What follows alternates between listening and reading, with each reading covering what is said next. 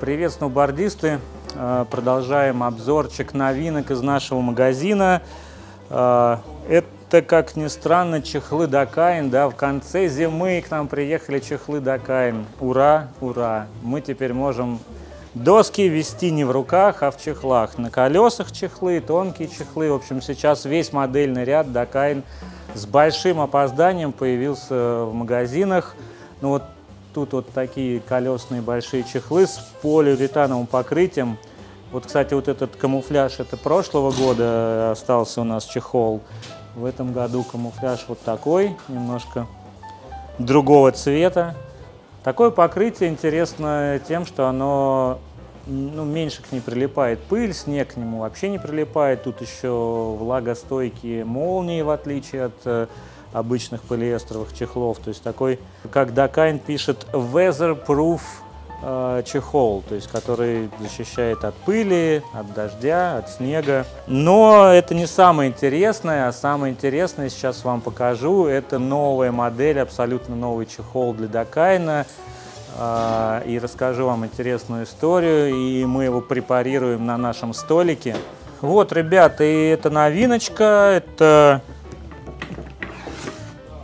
жесткий пластиковый кейс для сноуборда или горных лыж от Dakine.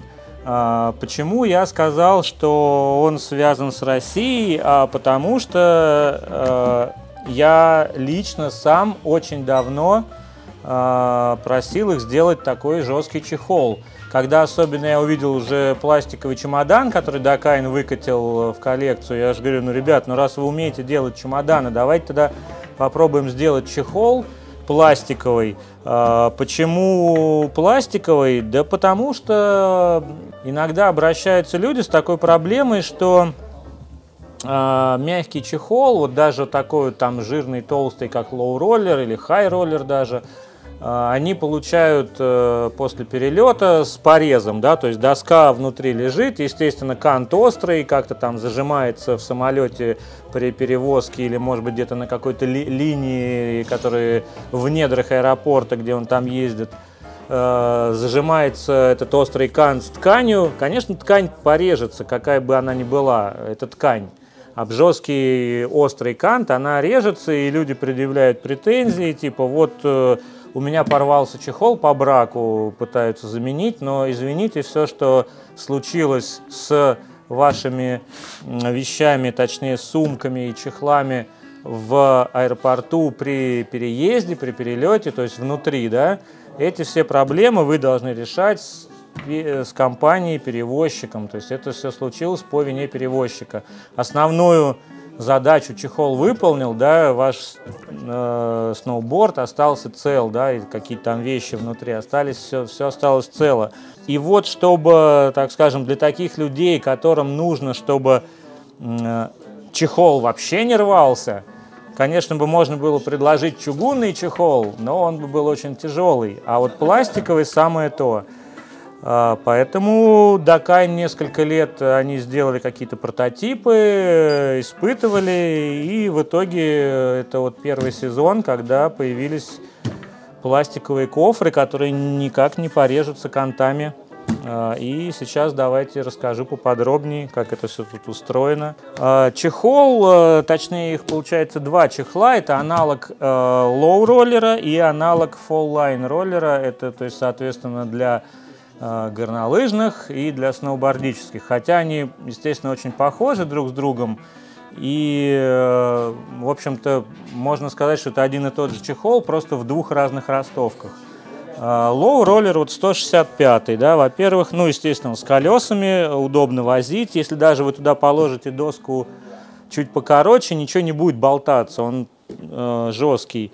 Закрывается он на кодовый замок, Э, с ключом под ТСА. ТСА – это международный такой стандарт замков, чтобы э, могли досмотреть ваш багаж, не ломая сами замки. Да? То есть э, у таможенников есть ключи, которые просто открывают, закрывают замок без его поломки.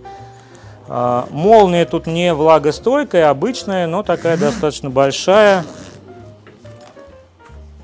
А, хотя нет, давайте дальше, так сказать, по экстерьеру пройдемся. А, пластик достаточно прочный, хотя он и мягкий. Покрытие такое, так скажем, анти антискретч, то есть э, будет царапины не будут так сильно портить э, чехол. Э, естественно, по кругу есть всякие ручки, чтобы удобно было переносить и тащить. И э, еще одна задумка от Дакайна, это вот эти вот две э, ручки на верхней крышке, э, очень прочные. За них можно этот чехол прицепить к багажнику автомобиля. То есть вот, ну, всем известен какие-то там багажники Тули, и вы, соответственно, просто так же, как багажник Тули, можете этот чехол прикрутить на крышу автомобиля вот за эти петли. А, и с другой стороны просто ребра жесткости, вот такие тут выемки, чтобы меньше болталось, так скажем, дно этого чемодана. Теперь давайте посмотрим, что внутри. Внутри он представляет собой обычный то же самый набор, как и roller. То есть здесь есть э, сумка под одежду или под ботинки, есть э, ремешок, который можно закрепить ваши лыжи или сноуборд. Ну и, собственно, армированный полиэтилен, который будет защищать изнутри тоже от порезов, хотя, как вы уже поняли, от острых контов никакая ткань не защитит. Но, по крайней мере, зато внешний не порвется. Интересный чехол. Сколько он стоит, знаете? Знаете, сколько он стоит? О, лучше вам не знать, сколько он стоит. Не, ну если серьезно, он стоит 31 900. Это, конечно, для чехла офигеть какая большая цена. Но если вы, например, купили сноуборд за ну, 92 тысячи, а то тут есть какие-то и за соточку и выше, то, скорее всего, такую драгоценную доску лучше стоит положить в очень защищенный чехол. То есть э, чехол напрямую связан с Россией по той простой причине, что дистрибьюторы российские, в моем лице как раз настоял на том, что такой чехол должен быть в коллекции такого бренда, как Дакайн. Ну, в общем, Наконец-то мы получили чехлы. Э, если вы собираетесь поехать на весеннее катание, застать какой-то весенний э, тепленькие солнечные деньки в горах. И, кстати же, будут всякие весенние летние лагеря, надеюсь, они будут, э, то, опять же, прошу, добро пожаловать к нам. Вы можете купить себе и доски, и чехлы для досок.